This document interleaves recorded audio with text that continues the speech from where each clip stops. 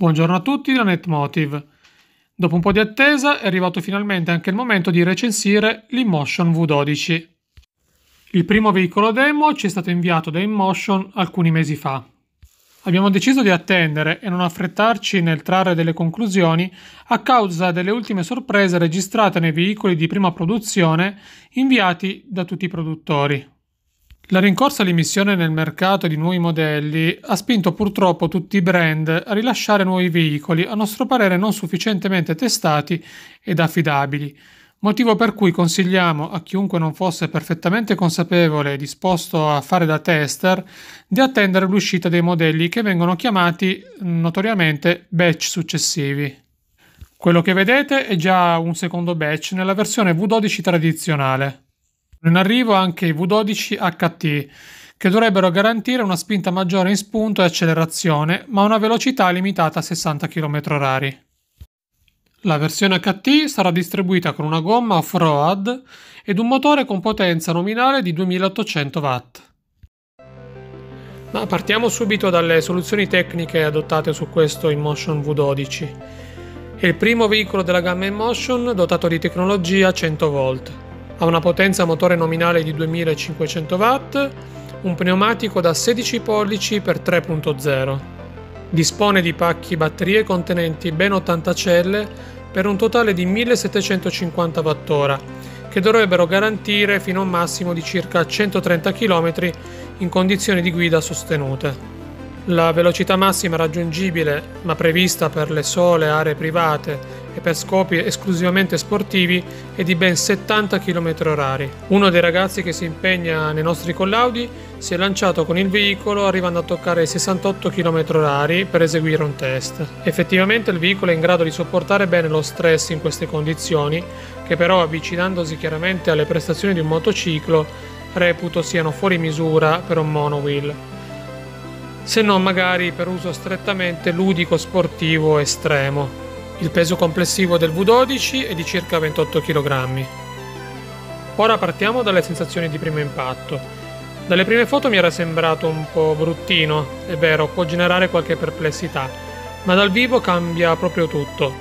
Una volta fatta l'abitudine al contrasto di forme circolari e squadrate, devo dirvi che risulta gradevole e complessivamente anche abbastanza armonioso. Mi attira molto il suo stile dark Batman, L'inconsueta scelta nelle forme è giustificata dal tentativo di trasferire maggior robustezza al veicolo. Infatti dal punto di vista costruttivo è davvero vicino alla perfezione.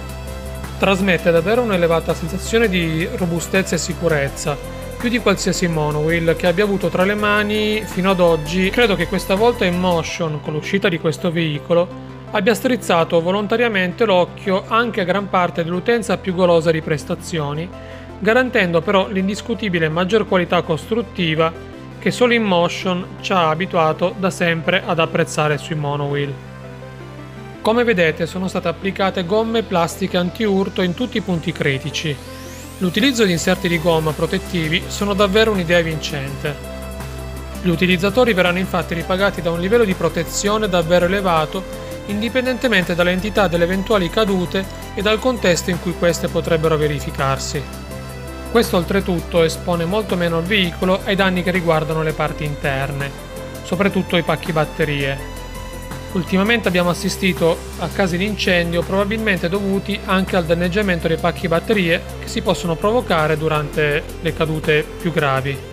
Anche il display, pur trovandosi a filo della scocca e non protetto da una griglia, è posizionato su un angolo di copertura tra la maniglia e lo spigolo del veicolo, per cui non risulta direttamente esposto ad impatti diretti eh, di piatto sull'asfalto. Non possiamo ovviamente sapere quanto lo schermo potrebbe resistere all'impatto con un oggetto spigoloso, ma speriamo di non doverlo mai scoprire.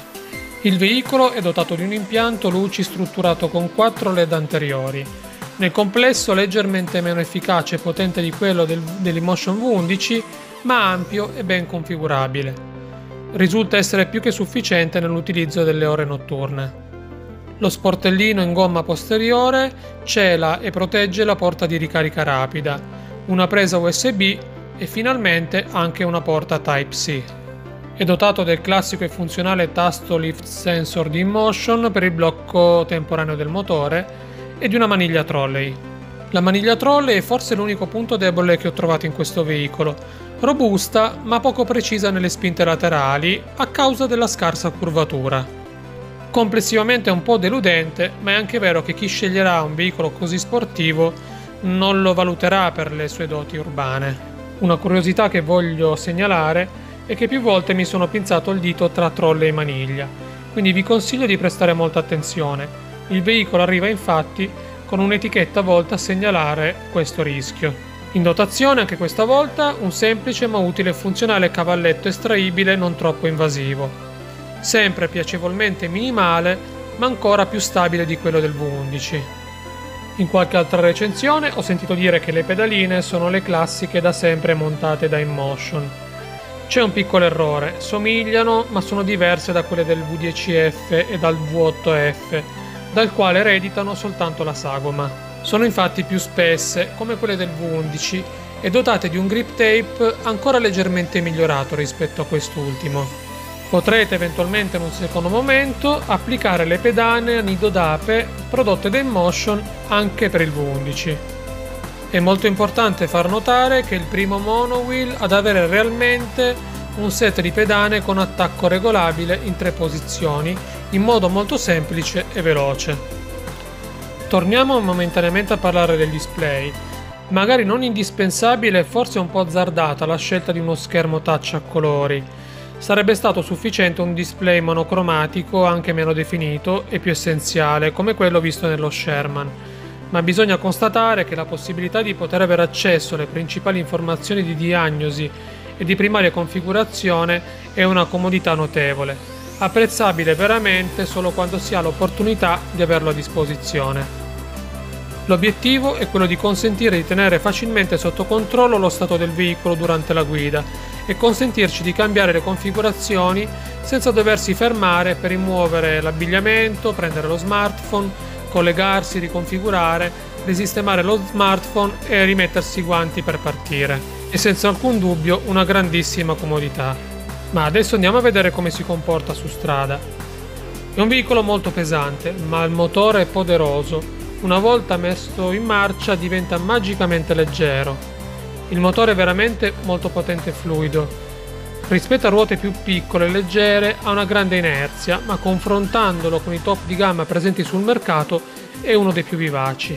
Una volta lanciato in velocità risulta estremamente progressivo nelle variazioni di marcia. La cosa che stupisce maggiormente è che raggiunta l'andatura desiderata non sarà necessario continuare a forzare sulle pedane. L'estrema potenza del motore garantisce il mantenimento di una velocità di crociera elevata con estrema semplicità e comodità, senza dover continuare a premere troppo sulle pedaline o avanzare eccessivamente il baricentro. Così come risulta elevata la spinta del motore in accelerazione, risulta adeguato anche lo spazio di frenata. La sensazione di stabilità ad elevate velocità è uno dei punti forti di questo veicolo. La posizione di guida è eccellente. Il veicolo è stretto e super reattivo nei cambi di direzione. In curva è meraviglioso, mi ha trasmesso delle emozioni uniche. Per la forma delle mie gambe la posizione è comoda e sicura. I cuscinetti mm, non sono forse bellissimi a vista, ma sono disposti nei punti giusti. È una scelta soggettiva, ma nel tempo ho scoperto di non essere un grande amante dei power pad. Amo infatti sentirmi libero da impedimenti ed apprezzo, soprattutto in un lungo percorso, la possibilità di potermi spostare spesso tra le pance del monowheel. E su questo veicolo riesco a farlo al meglio. Non troverete spigoli e fastidiosi dislivelli durante i vostri spostamenti. Il V12 non è provvisto di un sistema di ammortizzazione meccanico specifico. Per lo smorzamento dell'asperità del terreno punta esclusivamente sulla presenza di un pneumatico specifico con spalla molto abbondante, scelto saggiamente per assorbire le imperfezioni dell'asfalto. Sappiamo che esistono opinioni diverse e controverse sulla presenza di un ammortizzatore e non è questa la sede giusta per disquisire su questo argomento, anche se sempre più rider, dopo aver provato vari sistemi di ammortizzazione, soprattutto per uso estremo sportivo, hanno lecitamente scelto di farne a meno, apprezzando maggiormente la possibilità di percepire meglio quello che trasmette il terreno, a favore di una guida sportiva più diretta e precisa.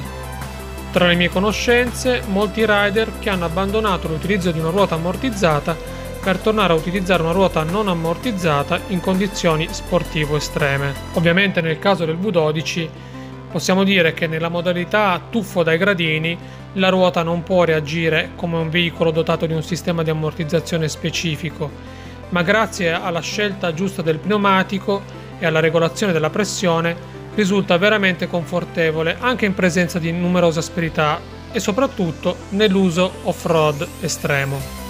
Trovo infatti che tra le ruote sia comunque il veicolo più ammortizzato nella lista dei monowheel presenti sul mercato non dotati di un sistema di ammortizzazione meccanico specifico. Su asfalto piano e liscio il veicolo risulta incredibilmente reattivo e piacevole da guidare così come lo è sullo sterrato veloce. Nonostante la stazza e il peso molto elevato, il posizionamento delle pedane alte e regolabili viene in aiuto anche nei cambi di direzione più rapidi e improvvisi.